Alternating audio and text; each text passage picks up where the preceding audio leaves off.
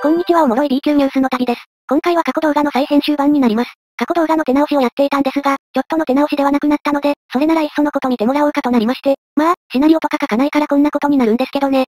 そして予告です。次回は第2回、チャンネル登録者限定ファンミーティングをしようと思います。前回参加された方、ありがとうございました。1万5000人くらいミーティングに参加していただきまして、本当にありがたかったです。最近登録された方は何のことかわからないかもしれませんが、ぜひぜひご参加ください。何かあるのか、と思ってしまいますよね。はい、何にもありません。動画内の私の話を聞いて発言する。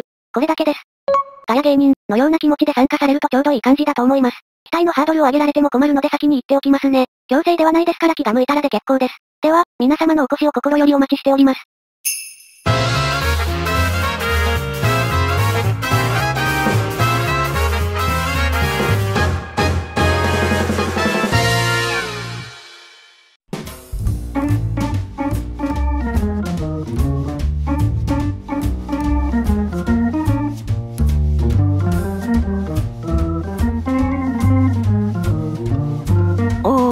感じで黄昏れてるじゃないの。お前ら本当に可愛いよな。で、あいつらどこよ。なんかどこかで黙々関係とかやってそうな気がするのだが。いないなら帰って寝るか、そうしよう。こんにちはレイムです。こんにちはヨウムです。わあ、ジュラシックパークだ、懐かしいね。今日はね、このジュラシックパークがテーマなんだけど、ちょっと変わった内容になってるの。変わった内容って、見ればすぐにわかるから、その説明は後でするとして、まずは映画の説明からね。ジュラシックパークとは、ジュラシックパークは、大ヒットしたアメリカの SF 映画で、シリーズとして現在5作品が公開。原作はマイケル・クライトンの小説で、生命倫理や生命の進化、歴史に対する哲学的テーマが背景になっている。内容は、大富豪ジョン・ハモンドの正体で、古生物学者ブラントとサトラー、そして数学者マルコムが南米コスタリカの沖合に浮かぶ島を訪れた。そこは太古の琥珀に閉じ込められた DNA から、遺伝子工学によって蘇った恐竜たちが生息する究極のアミューズメントパークだった。だがオープンを控えたそのジュラシックパークに次々とトラブルが襲いかかる。嵐の迫る中、ついに檻から解き放たれた恐竜たちは一斉に人間にに牙を剥き始めた。内容を聞いただけでまた見たくなってきたよ。1993年に公開された作品で、20年以上経っているのに全く色あせてない。名作中の名作だもんねさすがスピルバーグ、って感じなんだけど、2作目でやらかしちゃった感満載の作品を出しちゃった。どうしたスピルバーグって感じね。で、ちょっと変わった内容って、この恐竜たちが、猫に変わったら、っていう小ラシャがあるのね。名場面のシーンがことごとく猫。面白そう。ジュラシックパークシリーズは今のところ全部で5作品。あの名場面が蘇るよ。見てみる見たーい。じゃあ、早速行くよ。これは恐竜に車が襲われるシーン。この場面はすごかったよね。これが、ちょっと無理があるような。こんな風に結構、力ずくでねじ込んできてるからね。わかったよ。じゃあ、ガンガンと行くよ。ジュラシックパーク以外のコラもあるのよ。これはジュラシックワールドね。ラストには全作品に出てくるからね。で、これが、完全に名残画像になってるじゃん。まあ、相手が猫ならそうなるよ。恐竜に襲われたらって思うだけで怖すぎるわ。本当だよね。で、これが？ねえ、これはこれで怖くない？そうだね。この好奇心丸出しの目が怖いね。ネズミのおもちゃを見る目と同じだわ。確かに。厨房でのシーンね、これ怖かったよね手に汗握る展開だったもんね。これが？やっぱり違う意味で怖いわね。そうね。見つかったらもう逃げられないと思うわ。これ、動かずにじっとして、っていう場面だね。まあ、普通なら悲鳴あげるだろうね。これが。これも、ちょっとでも動いたら標的にされるわね。確かに、興味示されたら終わりって感じがするわ。猫ちゃんは少しでも動くものがあったら、ずっと見てるもんね。敵から逃げる恐竜の群れに巻き込まれるシーンね。そう、それ、霊夢的に結構好きなシーンでもあるわ。これが、ちょっとやりすぎ感がすごいわね。これが現実なら、グラント博士はこの後間違いなくおもちゃね。確かに。病気の恐竜を解放するシーンね。こういう場面で恐竜さんっていいなってなるんだよね。まあね。で、ぐったりと横になってるところが。寝てるだけじゃないの多分ね。これって起こさない方がいいと思うんだけど。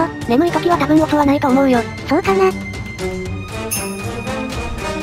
この囲まれる場面は怖かったわ。すごい迫力だったもんね。映画のハイライトでもあるこのシーン。これが、和むわー。もう、可愛さしかないね。ただ、やっぱりおもちゃにされるのは嫌だよね。ちょっとそんな目で見てるような。これはジュラシックワールドのアトラクション。これ、乗りたいわー。めちゃくちゃ楽しいだろうね。で、これが、これはダメなやつね。こうなると飽きるまで許してもらえないわ。そうだね。ジュラシックワールドのインドミナスレックスに襲われるシーン。最強生物だよね。これ、擬態、会話、温熱探知だもんね。こんなのに襲われたら逃げることは不可能ね。逃げ切れるかな多分無理だと思うよ。そうだよね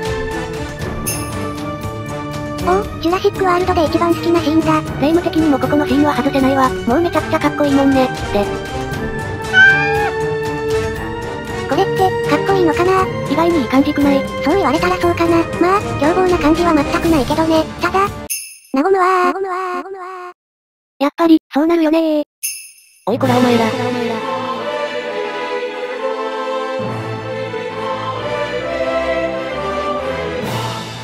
なんなのこの行々しい音楽は。普通に出てくればいいじゃん。モフモフの特集でなぜ俺を呼ばないこれ、再編集版だから、この時、あんた元からいなかったじゃん。そこだ、再編集するなら最初から俺もいていいわけだよな。なぜ呼ばない？せっかくの癒しが台無しだわ。もう一度最初からやり直せよ。はい。俺のいないモフモフ特集なんてもつの入ってないもつ鍋みたいなもんだろ。いや、もういい感じで終わったんですけど認めんぜ。俺を参加させないならずっとまとわりつくからな。最悪だわ。わかったよ。じゃあ、猫のコラシャ特別編ということで。あんまり甘やかさない方がいいんじゃないの？業務、今日からお前にまとわりつくの今決めたから、よろしく頼むな。レイムちゃん、早くモフモフの画像を出して。あんた、落ちるの早すぎー。まあ、猫のコラシャって昔っからあるんだけど、最近ではインスタでそんな画像ばかりアップしてる人もいるのね。猫ケーキとか、猫パスタみたいな食べ物と猫みたいな。さすがに食べ物と合わせるのはどうかと思うよ。それは猫に対する侮辱ではないのか。でも、コラシャってもともとそんなジョーク的なものだからね。こんな感じで。すべて許す。そうですか。もう、猫くらいの神々しい存在だと、いくら食べ物でも相手にならんな。わかる。食べ物が霞んでるもんね。日本の守護神が守っていたものはゴールじゃなくて猫だったか。3匹も猫ちゃんを守ってるね。さすが守護神。いや、だからコラシャだって言ってるじゃん。なにこれ？これはね、他の動物と猫を合わせるとどうなるのか、っていう感じのコラシャね。これはペンギンと猫。ペンギンも猫に食われてる感があるな。そうだね。猫ちゃん色が強いかな。でも、このグレーなのは猫ちゃんのままじゃないの。ペンギンのヒナだね。猫パンダ。超可愛いじゃねえかよ。猫なのかパンダなのかどっちかわからないくらいの出来でしょ。パンダちゃんか猫ちゃんかなんてもうどうでもいいわそれな、そうですか。猫クロウ。猫ってなんだろうな。48グループでいう絶対エースみたいな感じじゃないの。存在感が半端ないってことか。もう可愛すぎるー。じゃあ次。これも猫とフクロウだと思うけど、もう、なんでもいいぞ。そうよね。癒しに言葉は不要かもね。いや、あんたたちは喋るためにここにいるんですけど、そうなのか、ずっと前からそうなんですけど、細かいことは気にしなくていいんじゃないの。おいおいおいおい、ライブの警備してる奴がライブに参加してるようなもんじゃん。似たようなもんだろ。大丈夫。少しは喋るから。頼むからね、だぜ。怠け猫。これは結構ギリのラインだな。猫ちゃんが意外に押されてる感じじゃない？怠け者だよな、これ。怠け者と猫だね。意外に可愛い顔してんな。このコンボは最強のような気がするわ。じゃあ次。猫スズメ。もう、なんなんだろうな、この可愛さは。スズメちゃんも可愛いけど、猫ちゃんが合わさるとまた別格ね。言わんとすることはわかるぜ。これも鳥と猫のコラシャなんだけど、変わった感じでしょ。この鳥猫ちゃん、目の色が違うんだね。前に特集したキメラ猫なのかなこの猫は多分ターキッシュアンゴラね。ターキッシュアンゴラは夫間多いの。こんな風に左右の目の色が違うのね。トルコの生きた国宝と言われるほど優雅な気品と、自由奔放さを合わせ持つ猫ね。かの、マリー・アントワネット王妃も可愛がったという話だわ。なんだよ、俺が飼うのにふさわしい猫じゃんよ何言。ってんの優雅さと気品ある猫ちゃんなのよ。マリー・アントワネットも愛した猫ちゃんなの。業務以外に誰が飼えるっていうのけ、何を言うかと思ったら、寝言は寝てええよ。まあまあ。こうやって見ると、鳥と猫の相性って抜群でしょ。これはヒマラヤンか。ヒマラヤンだね。鳥はこの際どうでも良くなってきたな。はい。鳥さんは鳥さんの良さがあるけど、猫ちゃんとは合わせない方がいいと思うよ。いや、これはそういう企画でしょ。合わさなかったら意味がないじゃん。別々がいいぞ。そうよね。ジュラシックパークのコラシャは楽しめたけど、これは別々の方がいいとヨウムも思うよ。あんたたちさっきまでいがみ合ってたよね。何を言っているんだレイム君。私たちがいがみ合うわけがないだろう。全日本モフモフ協会の会員同士、すごく仲良しですよ。さっきはお互いの思いが強すぎてヒートアップしてしまいましたが、ヨウムさん、大変申し訳なかった。大人になりきれず恥ずかしいですよ。いえいえマリサさん、私の方もつい向きになってしまって、恥ずかしい限りです。モフモフで癒されてるはずなのにお互いにまだまだですな。本当ですね。おほほほほほほほ。何の茶番だよ。ターキッシュアンゴラが出てきた時にビビってきたものですからつい。それ、わかります。私もゴゴゴ、ってきたものですからつい。いや、私はドドドドドド、でしたね。ごめんなさい。私はズババババババーン、でしたよ。何ですかそれ、私はグゲゲゲゲゲゲ、だったわ。なんだと、俺はダダダダダドッカーン、だぜ。ヨウムはバババババババババーン、だからあねん。たたちバカじゃないの。